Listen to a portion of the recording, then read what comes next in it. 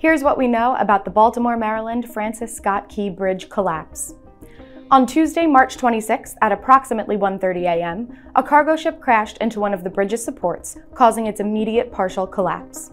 Multiple people, including an eight-person construction crew, were on the bridge at the time of the crash. A level 1 mass casualty event has been declared, and a search and rescue operation was immediately launched. As of 10 a.m., two people have been recovered while six others remain missing. One person has been taken to a local hospital while the other refused treatment. The six missing are believed to be members of the construction crew. Approximately 1:30 a.m., a cargo ship leaving the Port of Baltimore struck the Francis Scott Key Bridge. This caused a catastrophic collapse of the bridge. First responders from the Maryland Transportation Authority, the Toll Authority, and our federal, state, local partners immediately responded to the scene. At this time, this is an active search and rescue mission. We know there were we know there were individuals on the bridge at the time of the collapse working on the bridge, contractors for us. The crew that was out there working was basically repairing potholes, because you understand that had nothing to do with a structural issue at all at the, at the, on the facility.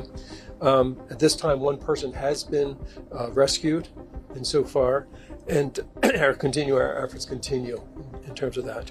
Um, engineers are on site right now determining both some of the structural issues, obviously some of the debris field, and we'll start to work that, but we'll work hand in hand with the NTSB before we take any further action in that area. The cargo ship, known as the Dali, is owned and operated by Synergy Marine Group. The 948 foot vessel was headed for Sri Lanka. Synergy confirmed that all crew members, including two pilots on board, were accounted for and no injuries to that group had been reported. The cargo ship had been chartered by Danish shipping giant Maersk. Maryland Governor Wes Moore said that a mayday call was issued from the ship ahead of the crash. The cargo ship reported losing power moments before striking the bridge and warned of a possible collision. Video footage from the scene showed the vessel's lights flickering on and off in the moments before. A giant plume of black smoke could be seen coming from the ship seconds before impact. So at approximately 0140 hours this morning, our 911 center dispatched a call to the Baltimore City Fire Department for a report of a water rescue um, in the Patapsco River in the area of the Key Bridge. As units were responding, they began to receive numerous calls indicating multiple people in the water. At some point during that, that chain of events of calls, uh, we began to receive indications that a, uh, a ship may have struck the Key Bridge. We got further information through multiple calls that the Key Bridge, um, portions of the Key Bridge had actually collapsed. At about 0150 hours, our first unit arrived on scene and reported um, a complete collapse of the Key Bridge.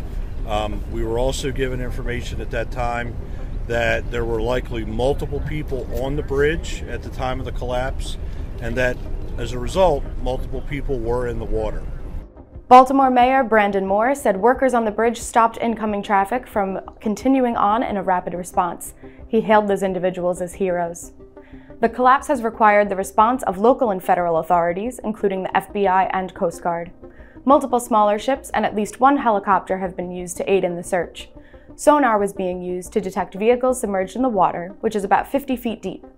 Baltimore City Fire Chief James Wallace said five vehicles, including three passenger vehicles, have been marked by infrared and sonar technology. The Coast Guard's primary mission right now is search and rescue, looking for any survivors in the water. On scene, we currently have three small boats. We also have Coast Guard Cutter Mako, an 87 foot patrol boat. We have a helicopter from Air Station Atlantic City, and we're working with numerous federal, state, and local partners on scene on these search and rescue efforts. Thank you. Mayor Scott declared a state of emergency, which will remain in place for 30 days. Scott also said that a preliminary investigation suggested the collision was an accident.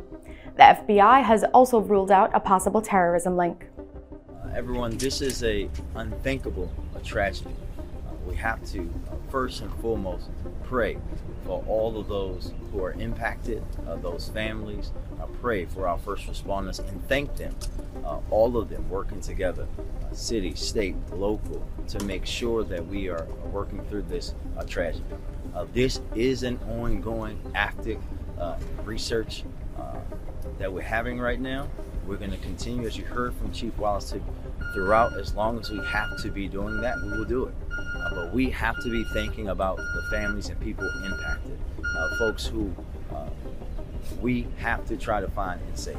This is what our focus should be on right now, and we're going to continue to work in partnership with every part of government to do everything that we can uh, to get us through the other side of this tragedy. Opened in 1977, the bridge is named after the composer of the Star Spangled Banner. The bridge, which spans 1.6 miles and carries Interstate 695 over the Patapsco River, ushers north and southbound traffic around the city of Baltimore. It was last inspected in May 2021 and was found to be in fair condition, according to Federal Highway Administration records. The bridge collapse affects the Port of Baltimore, which is the deepest harbor in the Chesapeake Bay. It is also a commonly used cruise ship port, as well as the number one port in the country that handles automobiles. Our state is in shock and I want to take this moment to speak directly to the people of our state. To our first responders, I'm in awe of you. I'm in awe of your courage. I'm in awe of your strength.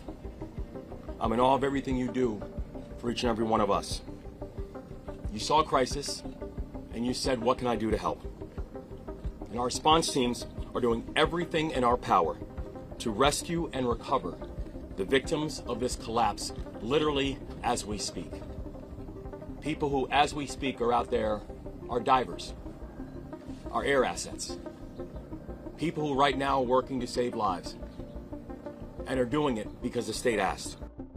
And to the people of Baltimore and each and every one of the 6.3 million Marylanders who call our state home, I recognize that many of us are hurting right now. I recognize that many of us are scared right now. And so I want to be very clear about where everything stands. We are still investigating what happened, but we are quickly gathering details. The preliminary investigation points to an accident. We haven't seen any credible evidence of a terrorist attack. Our administration is working closely with leaders from all levels of government and society to respond to this crisis, and not but just by addressing the immediate aftermath, but also by building a state that is more resilient and a state that's more safe. Moore said reconstruction on the bridge will be a long term project and declined to comment on when port operations will resume.